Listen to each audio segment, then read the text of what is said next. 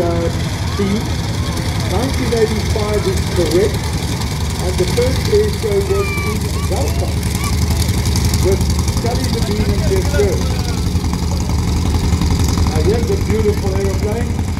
And Leon, I know you've flown in this aircraft here. So on behalf of the Chief of the Air Force, the officer commanding the museum, thank you.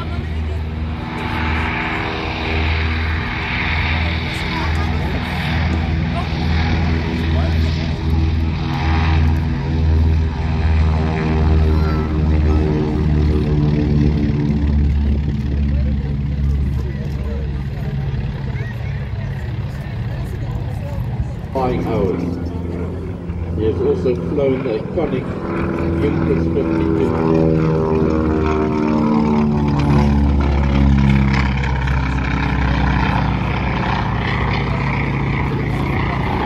Who is well known in aviation and respected.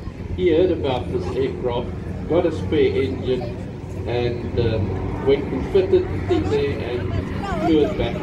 He bought the aircraft. So uh, I've got a couple of hours flying with this aircraft. Really wonderful. Those markings the aircraft has.